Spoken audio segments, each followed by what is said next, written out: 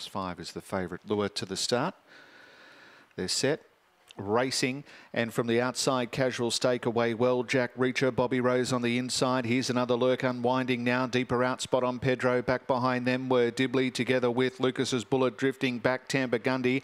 And uh, spot on Pedro got checked out of it towards the turn. Casual stake joined by another lurk on the inside who goes up to hit the top and rack up three in a row. Another lurk has defeated casual stake and Jack Reacher close for fourth with Lucas's bullet and uh, Dibley close up in that photo. And they were followed back behind them by uh, Spot on Pedro and Jack Reacher was well back with Tampa Gundy and the race time is about to appear around 22.67.